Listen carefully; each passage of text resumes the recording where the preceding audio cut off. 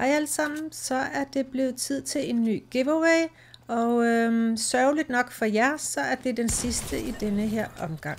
Alt har jo en ende. Det I skal gøre denne her gang, det er, at I skal selvfølgelig like den her video, og så skal I subscribe til min kanal, hvilket er klart det vigtigste. Det er meget vigtigt. Og så skal I huske at skrive jeres epic name nede i kommentarfeltet, i tilfælde af, at øh, I vinder, så jeg kan gifte jer. Jeg ved ikke helt, hvornår at, øh, jeg trækker lod. Det kan blive denne her uge eller næste uge. Øhm, det kommer lidt som en overraskelse. Og det vil glæde mig meget, hvis I gerne vil invitere alle jeres venner til min kanal. For jo flere subscribers jeg får, jo flere giveaways kan jeg også lave. Så ellers så husk at like den her video, subscribe til min kanal, og så lige skrive jeres epic name ned i kommentarfeltet.